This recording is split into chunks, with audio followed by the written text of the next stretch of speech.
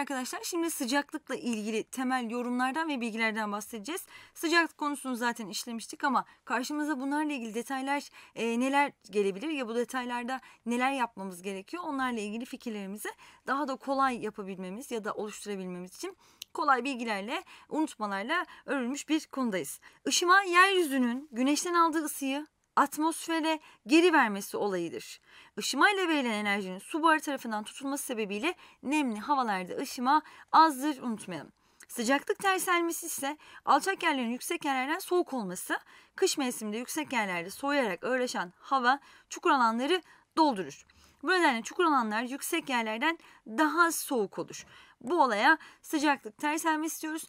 Neden arkadaşlar? Normal şartlarda yukarı çıkan hava soğur. Ama burada tam tersi alçakta olan yukarıdaki havaya göre daha soğuksa işte biz buna sıcaklık terselmesi diyoruz. Evet. Sera etkisi. Havada artan karbondioksit, su buharı, tuz ve diğer gazlardan dolayı çevreye nazaran daha fazla ısınması sera etkisini oluşturur. Günümüzde arkadaşlar küresel ısınma dediğimiz aslında bir nevi sera etkisi yani serasal ısınma olarak da adlandırılabilmekte. Sera etkisi karbondioksit gazının değişmesiyle alakalıdır.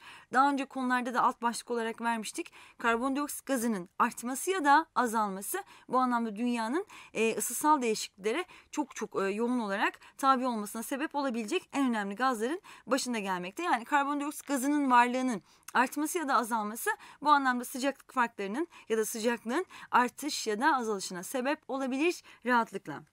İzoterm sıcakları aynı olan noktaları birleştiren eğrilerdir. Güneşin atmosferde tutulması güneş ışınlarının gelme açısına bağlı açı büyüdükçe tutulma azalıyor.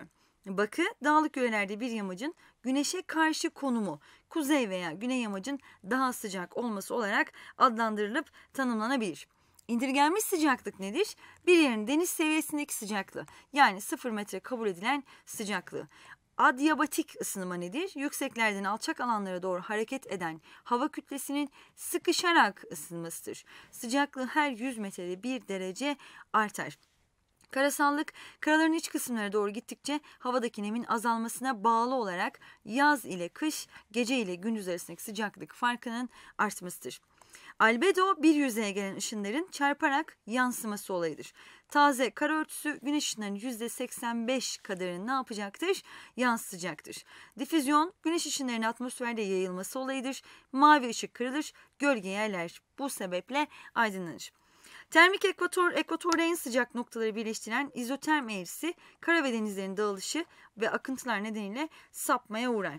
Radyasyon güneşten elektromanyetik dalgalara yayılan enerjidir. Yani bu dalgalar sayesinde etrafa yayılan enerjiye biz manyetik enerji diyebiliyoruz.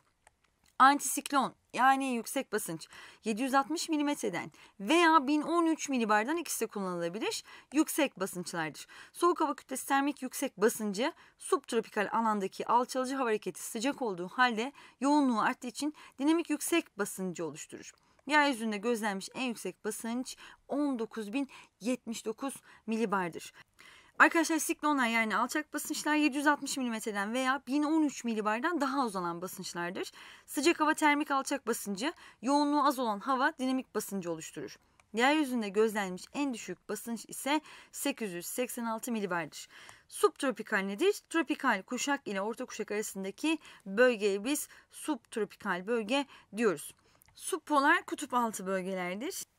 Polar cephe arkadaşlar? Soğuk polar hava kütleleriyle sıcak hava kütlesinin karşılaştığı cephedir. Batı ve kutup rüzgarlarının karşılaştığı alanlardır. Meltem, kara ve deniz ile vadi ile dağ arasındaki günlük hava basıncından doğan devili rüzgarlardır.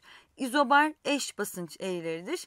Etezyen yazın Balkanlardaki yüksek basınç alanlarından Sahra üzerindeki alçak basınç alanına doğru esen serin rüzgardır. Bora Adria denizi kıyılarında kışın esen soğuk ve şiddetli bir rüzgar olarak karşımıza çıkacak. Música